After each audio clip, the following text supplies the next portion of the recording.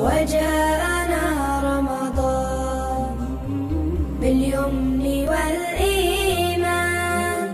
في الحديث الشريف يقول صلى الله عليه وسلم من صام رمضان إيمانا واحتسابا غفر له ما تقدم من ذنبه. حديث تتجلى فيه قيمة عظيمة وهي هدف قصير ومكافاته مجزية بل حلم لكل مسلم ومسلمة. إنها قيمة الانضباط واحترام الوقت. فمن أراد الصيام فعليه الالتزام بمواعيد الإفطار والإمساك.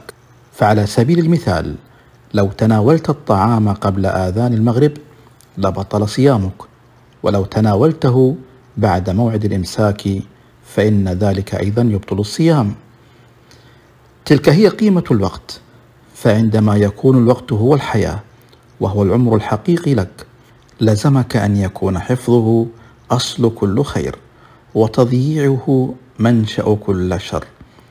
ولما كانت أيام شهر رمضان وساعاته ودقائقه ذهبية لا تعوض. جاء حديثنا عن قيمة الوقت في يوم الصائم وليله. فمن عرف قيمة شيء ما وأهميته حرص عليه وعز عليه ضياعه وفواته. فادرك قيمة وقتك وأهميته. واحرص على حفظه واغتنامه فيما يقربك من ربك. والسلام خير ختام. تسمو بنفحته ملائك الرحمن. صلة الرحم من محاسن الأخلاق التي حث عليها الإسلام ودعا إليها وحذر من قطيعتها. فقد دعا الله عز وجل عباده بصلة أرحامهم في تسعة عشرة آية من كتابه الكريم. وأنذر من قطع رحمه باللعن والعذاب في ثلاث آيات. ولهذا دأب الصالحون من سلف الأمة على صلة أرحامهم رغم صعوبة وسائل الاتصال في عصرهم. أما في وقتنا المعاصر سهل التواصل في ظل توفر مختلف وسائل النقل والاتصال. فأدنى الصلة أن تصل أرحامك ولو بالسلام. روي عن ابن عباس رضي الله عنهما أن رسول الله صلى الله عليه وسلم قال صلوا أرحامكم ولو بالسلام. فحري بنا في هذا الشهر الكريم أن نصل أرحامنا فإن من وصلها وصله الله ومن قطعها قطعه الله. ولا أفضل من شهر الرحمة من أن يتقرب المسلم فيه لربه بصلة رحمه ابتقاء لمرضاته وعظيم ثوابه وإزالة لما قد يقع في النفس من شحناء.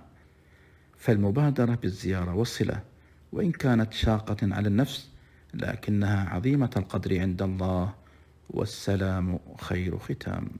وجاءنا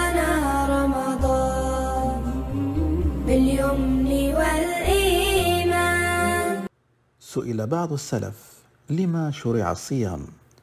قال ليذوق الغني طعم الجوع فلا ينسى الجائع. وهذا من بعض حكم الصوم وفوائده.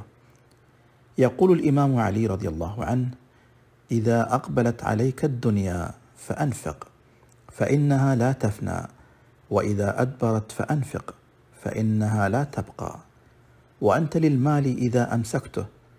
والمال لك إذا أنفقته. وكرم الرجل يحببه إلى عباده وبخله يبغضه إلى أولاده. ومن جاد ساد والجود حارس الأعراض.